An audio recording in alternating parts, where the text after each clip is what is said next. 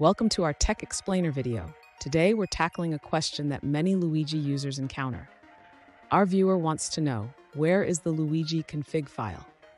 They've installed Luigi using pip and are looking to change the port for the web UI, but they can't seem to find the config file. Do they need to create one? Let's dive in and find out.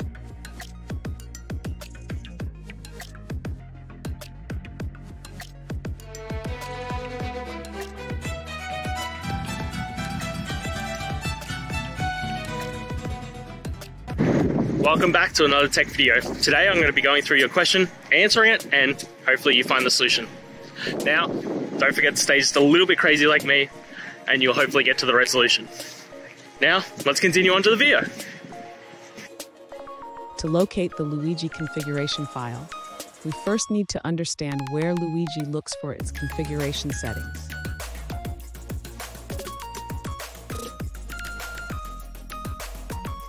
If you can't find the config file in those locations, you may need to create one.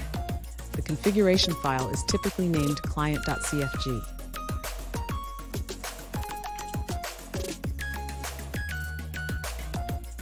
Now let's add the necessary configuration to change the port for the web UI. Open the client.cfg file and add the following lines.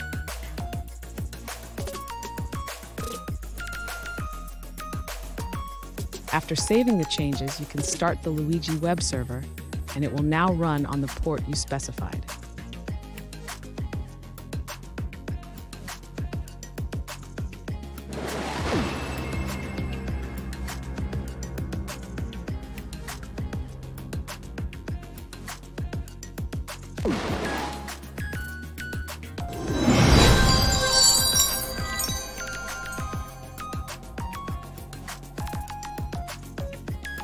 Let's now look at a user-suggested answer.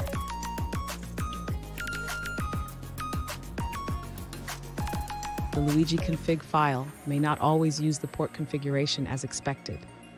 To ensure the correct port is set, use the command line option.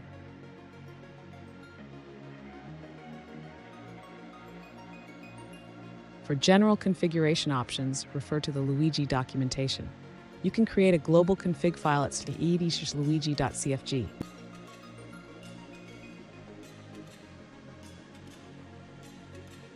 Alternatively, you can create a local config file named luigi.cfg in your current directory.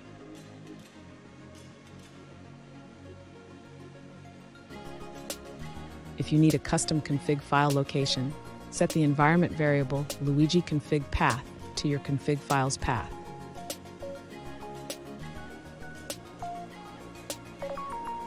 And that's it, guys. We've gone through, answered your question, I hope, and you found that resolution. Guys, if this helped, please hit subscribe. I'd really appreciate it. And until next time, have a good one.